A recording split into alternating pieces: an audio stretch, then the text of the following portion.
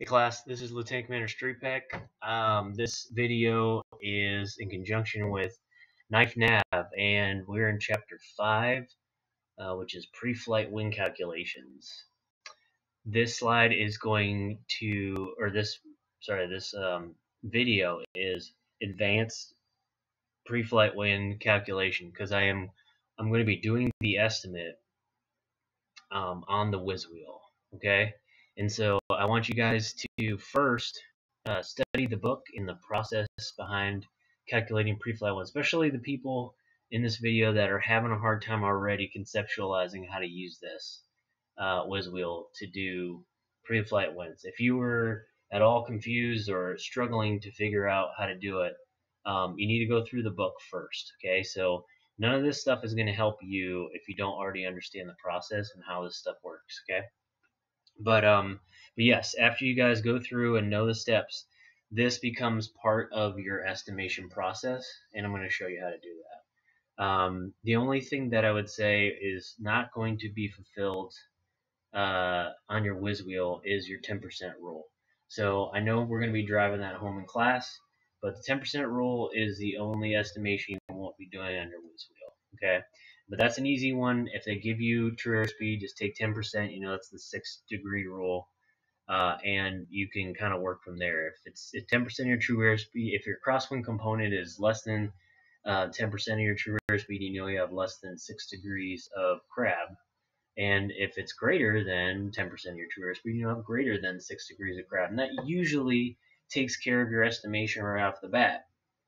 Um, it's those situations where your your crosswind is extremely high or low, where you'd probably want to do a little bit more homework first, a little bit more fidelity, maybe expand out your 10% rule. But for the most part, you know, if you're in a pinch, use that 10% rule, just the 10%, and uh, you know, go, you know, do the over/under thing on it, and usually they'll get you right. Okay, so in a situation where they give you um, a, a wind component, say um, say it's 210 at 50, okay?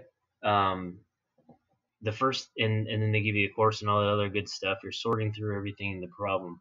When you get a win for a pre-flight wind calculation, go ahead and just put it in there. So uh, 200 at 50, right? So just go ahead, pop it in there. And then the course uh, whatever it is, say it's uh, we're going to do 050 or something like that. So we'll go ahead and turn that in. So as long as you're turning in your courses, if you notice, this turns into a wind tee real quick. Okay, I'm um, sorry I don't have the full screen here, but yeah. So here you see your you can do quarry analysis right here on your. Okay. Now again, this is to say that you already know how to do quarry analysis. If we don't know, you need to go through the chapter and learn quarry analysis. You need to internalize it. And don't spend a ton of time doing it, just get it done. And now we can get to the this stuff, the execution. Okay, so knowing we have a right tailwind, we know that ground speed will be greater because it, see the plus sign, and right crosswind, so our heading will be greater as well. Okay, so heading's greater, ground speed's greater, and you're done with your your um, estimation. Okay, um, next, you want to make sure that true airspeed at the top is set. So say your true airspeed was 150 knots. You're going to go ahead and put that in there. Okay. And then at that point, you're ready to go. Um, you go ahead and start calculating your components. So right here, it looks, because my, I see my marker is so big, but I would say that the crosswind component is 25 knots. Okay. So 25 knots 25 knots is greater than 10% of of 150. So it's greater than 15. That means I have greater than uh, 6 degrees of crab. And sure enough, as I look down, I see that. But see, here we go. 25. Uh, we'll go to 25 over here and see. And sure enough, there's uh, it's greater than 6. It's actually greater than 9.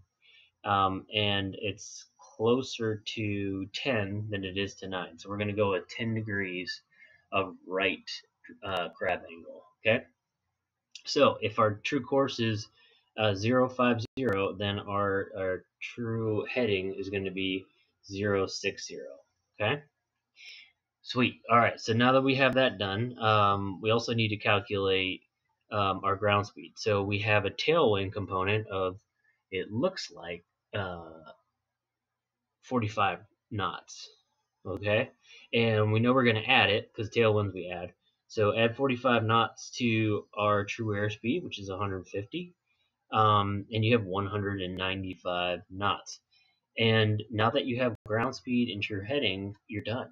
And you see how how fast that was. Um, so just again to reiterate, you have to know you have to internalize this process. You got to know that there are there's certain things you have to do for pre-flight wind calculation. You got to do your you, have to do a quartering analysis, right? Because then once you do that, um, you know that your components will be in a certain realm, either above or below your givens. Okay, and then after that, you're gonna make sure. Well, first off, you got to plot the winds, but yes, you do your quartering analysis off your true course, and then you can get your components and then calculate using your true airspeed up here, and uh, for your crab angle and your ground speed. Okay, hopefully this video helps you guys. I know it was uh, quick and dirty, but you know, it comes down to it, when you guys know pre-flight winds, you can do it this quick, and it's not such a big deal. Um, if you have any questions, give me a, uh, a text and uh, or text your instructor if I'm not your instructor. And uh, I hope your uh, studies are going well. And uh, get to that jet log. Talk to you later.